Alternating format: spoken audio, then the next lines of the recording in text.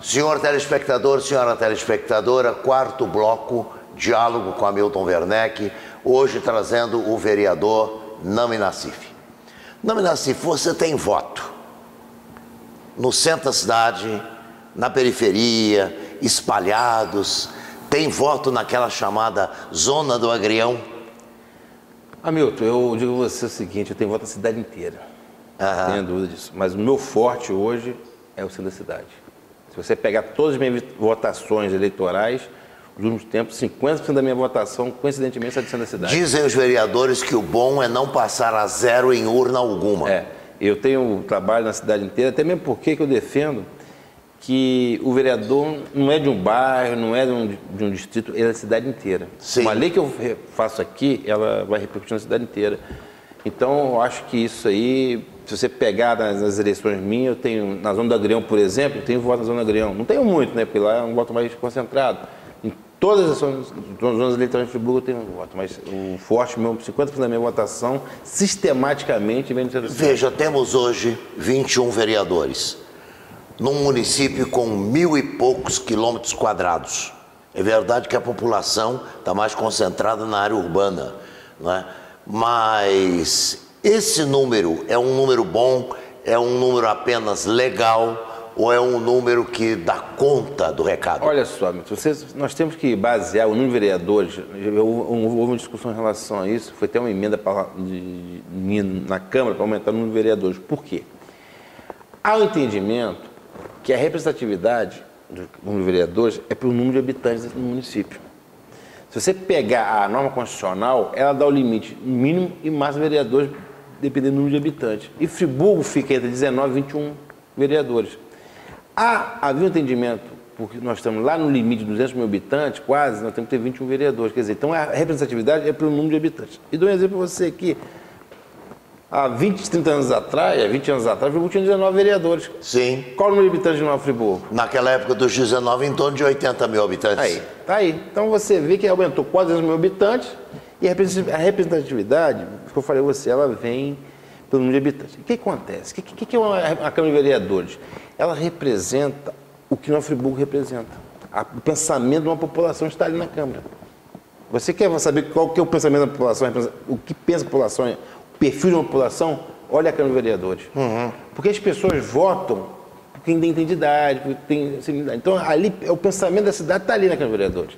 Aí é ruim, é bom, então mas se a Câmara é ruim, porque o pensamento da população é ruim. Porque ele pensa, o pensamento da população está ali. Então, eu acho que. Então, quando você me pergunta se tem voto em toda a cidade, tem. Porque quando eu faço, eu dou um exemplo para você que eu fiz uma lei que que, que é uma lei até que beneficia a população, que ela beneficiou, beneficia toda a população todo o município. Essa lei obrigando a concessionária de ar Nova Friburgo a colocar os eliminadores de ar no hidrômetro é de minha autoria. Ela não beneficia só o centro da cidade, ela beneficia todos os bairros. E digo a você, os bairros mais preju- prejudicados com, com ar no hidrômetro são os bairros de, de periferia. Sim. Ó, Audiolaria, Alto Conselheiro Paulino, Rui Sangrar, o Alto Floresta. Por quê? Porque para se jogar água lá em cima, tem que bombear, e quando o dia que não cai água, a tubulação esvazia, e quando chega no seu hidrômetro, o, o ar faz com que o hidrômetro rode e você... Vou estar pagando ar e não água. Não há água. Não há. então, essa lei que obrigou a botar o eliminador de ar, que é uma lei que deve ser mais explorada, mais divulgada, é da minha autoria. E, pois, é uma coisa ótima. As pessoas precisam saber do seguinte, que está lá na lei, Está lá na lei. tá lá na lei, que é ele que deve pedir. Ele deve pedir, ele solicitar. Exatamente. É minha autoria. Não, é, a lei é o seguinte. Eu, por exemplo, estou sabendo agora no programa que o autor da lei que obriga a colocar Eliminador de ar. é como se chama esse Eliminador de ar no hidrômetro. Elimi- Eliminador de ar. eliminador de ar. não é? Esse eliminador de ar, senão você, o que, que acontece? Você paga como se fosse água o ar que você respira. A hora que cobrarem o ar que nós estivemos respirando, É. eu acho que a aí diferença é grande. E você vê, uma o lei mundo eu, acaba. Eu, eu me lembro que estava na minha campanha agora, uma senhora fez a campanha, falou, você, ele falou assim, "Ah, você que faltou desse projeto de lei da de ar. Foi, ela falou assim, olha só, a minha casa eu coloquei, reduziu a conta em 40%. Pois é, Quer dizer, eliminador de ar, É. sobretudo eu sou o vereador da cidade, cara, uma, uma pessoa lá do alto do, do Rui Sagai falar isso comigo. Sim. que não é um reduto Quer dizer, é preciso que uma pessoa, quer dizer, perceba o problema, o vereador tem que ter esse perfil. Olha, meus parabéns. É, é, eu não sabia. Não sabia, não? Não sabia que era sua. É sabia da existência. É, minha autoria. Né? Sabia Minha da autoria, existência. minha autoria. E... E você sabe, quando eu fui, até voltando, não era o tema, mas quando eu fiz a autoria dessa lei, eu tive uma resistência muito grande no momento de aprovar a lei, porque a empresa, ela questionava isso. Ela tentava me convencer, eu nunca vi disso, ela atravessou dentro da Câmara lá, argumentos técnicos lá, que não sei muito chegou o conhecimento deles, e tentando me convencer a retirar o projeto, porque poderia contaminar a água.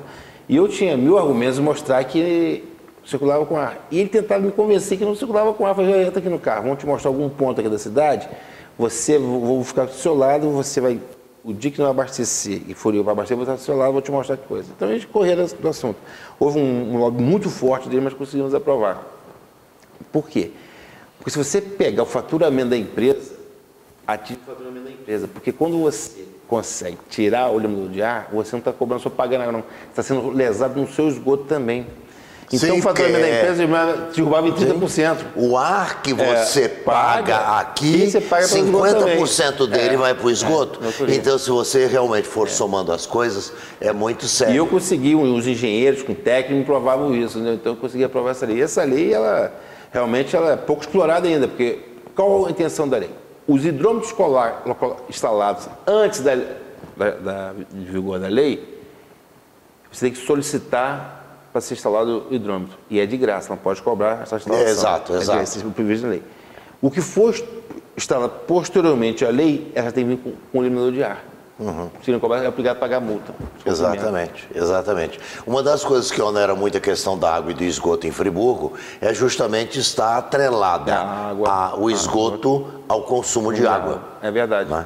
Isso aí O é, custo é praticamente o mesmo, meio a meio. é meio a meio, exatamente. Então, se você Não é lesado no ar, você é lesado também no É, outro. não, Nassif, estamos chegando ao final do programa. Aqui há uma câmera à sua disposição para as suas considerações finais em torno de um minuto e meio, para você se despedir e conversar com seus eleitores. O vereador do eliminador de ar dos hidrômetros. Muito obrigado, Milton, aí, pela oportunidade de estar aqui, de- de- demonstrando nosso mandato, mostrando nosso trabalho né, como vereador. Quero agradecer a todos os telespectadores também que perderam seu tempo em nos assistir e dizer que quem tem na vida pública tem que trabalhar para o público. Eu sempre digo isso, eu tenho assim vontade de ver Friburgo crescer, tenho vontade de trabalhar para o Nova Friburgo, continuarei trabalhando, buscando verbas, fazendo minha parte como político, como cidadão, porque essa é a nossa função também, né? Porque a gente tem aqui nosso patrimônio, nossa história está aqui na Nova Friburgo. Nós nasci, fui nascido e criado aqui. É uma cidade que eu gosto muito. Então eu quero só agradecer você, agradecer você mais uma vez pela oportunidade de estar aqui presente no seu programa, agradecer mais uma vez os telespectadores e aguardar a próxima vez poder ter essa oportunidade E de é, um, ser presente aqui. e é um grande representante da família Nassif e da colônia libanesa em Nova Friburgo. Com certeza. A colônia que eu tenho com, em relação a ela uma, um carinho especial, dado que eu fui criado ao lado de libaneses. Então eu aprendi tudo o que é bom do lado libanês. É. não é? Agradeço muito a sua presença ah, hoje aqui na gravação. Desejo que agora, nessa parte final do mandato, você continue com essa força de procurar o bem público, não é? Quem sabe você consegue uma outra lei de grande relevância, É como lógico, foi essa do, do- da eliminação do ar nos hidrômetros. É? Muito obrigado pela sua presença, senhor telespectador, senhora telespectadora, agradecendo a sua audiência, nos, nos despedimos até o próximo programa.